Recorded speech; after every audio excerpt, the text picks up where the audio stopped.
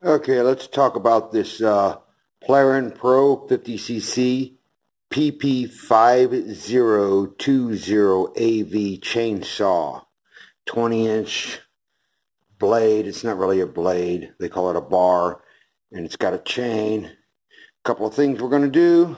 Make sure we got plenty of fuel, which I just filled up. And uh, make sure that our bar chain has a good bar oil. Uh, whenever you uh, go to make your gas, I do it easy. I take a one gallon gas can, one gallon of gas to one container of this size of two cycle oil. That way I'm right every time. Real simple. One of these to one gallon of gas. It's good to always have some chainsaw files to sharpen your chain on a regular basis. I like to do it a little bit after every use. Make sure my chain's sharp, make sure my chain is tight and adjusted properly. You should always use the recommended bar and chain oil. I know there are guys out there, some of them will use transmission fluid, used motor oil, or any old got darn thing that'll uh, go in and lubricate the chain. And maybe that does help, but you should really use the recommended chain oil for your piece of equipment if you want to make your chain and your bar and your engine last. Project, I need a stump for my anvil so I can do some blacksmithing. Now I like my anvil height to be between my navel and my hips so I'm going to take a measurement of the anvil height.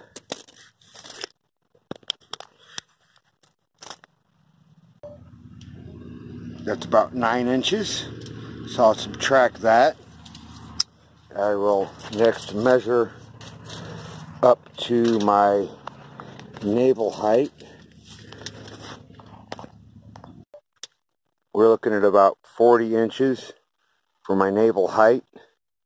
So it gives me a little bit of degrees between 36 to 40 inches. So 40 minus 10 would be like 31 inches, okay, or 9 inches would be like 31 inches. So I will go with 32 inches because it's going to sink in the ground a bit. So that'll be the length of the log I want to cut, 32 inches length. Now I've been taking down this big uh, dead tree here. Got a lot more cutting to go, but I got this big old log on the ground and that's a lot more solid than I thought it was, so I can take the solid end. The other end's more rotten, but I can take the solid end, thicker end for my anvil stump at 32 inches. Seems to measure 17 inches across.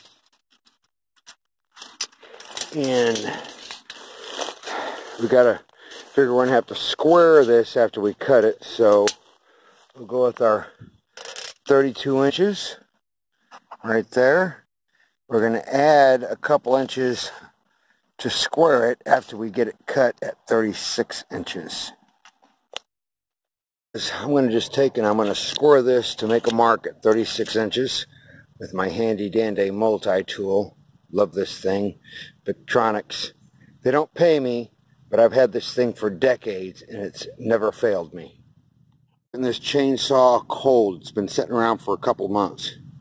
So uh, first thing we do is we're going to flip that to the on position and pull out the choke all the way. Then we're going to have to give it a couple of pulls. Okay, starting the chainsaw.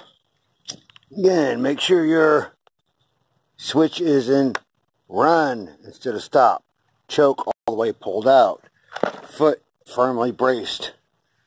And hold that, pull the handle a couple times in the full choke. Go to half choke.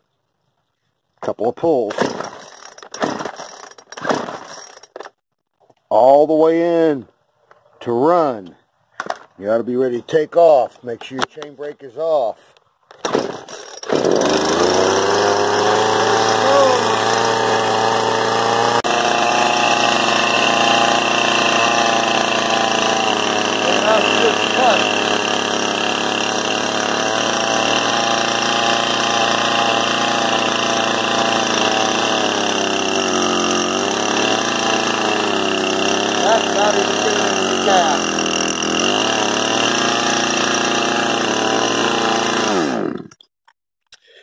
Now you got to make sure that you're always safe with the chainsaw and watch the chain brake.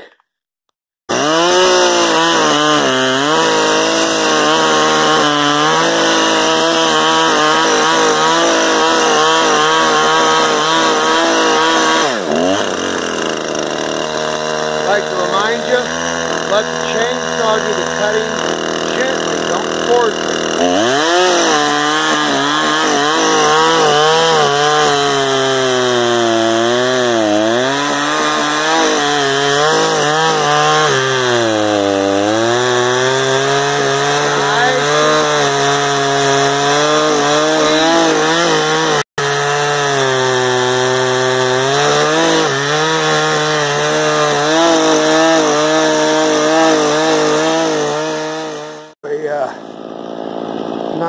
Uh, 17 inch log cut with a 20 inch saw. Unfortunately I didn't have anything I could roll the whole log with. But I got this piece off. Now later on we'll uh, take that, roll it down, and we'll put an anvil on it. All right, we got that log cut, but it's getting dark, so we got part one with that Poulan chainsaw, 50cc. 20 inch bar. Works great. It's not a Husqvarna, it's not a Stihl, but I've been using it for years. You take proper care of your tools, your tools take proper care of you. Also, remember, wear your eye protection, your head protection, and your hearing protection. Because if you don't take care of your body, it's going to break. Just like any tool. You misuse it, you break it. Your body's a tool. Take good care of it. And uh, so this is part one. In part two, we'll be uh, getting that anvil squared on that log, rolled down, get that anvil set and hammered in. Ooh boy, look at all that sweat just dripping down. It's a nice warm summer day and good hard work with the sun going down. Nothing like it in the world. So uh, if you like my videos, punch that subscribe button. You want to see more of uh, how I do things on the farm, you see how I do things blacksmithing, woodworking, building, repairing, uh, all the things that we deal with in life and some things that a lot of guys don't do and wish they could, uh, how to do it. That's what this is all about. This content is free. It will remain free. Right now I have less than a thousand subscribers, so that means that you get no commercials. So go ahead and hit that subscribe button. Click that like button if you like it. Click that dislike button if you dislike it. And please make a comment. You got something that I'm doing wrong, something I'm doing right, something you want to see more of, something you want to see less of. Let me know.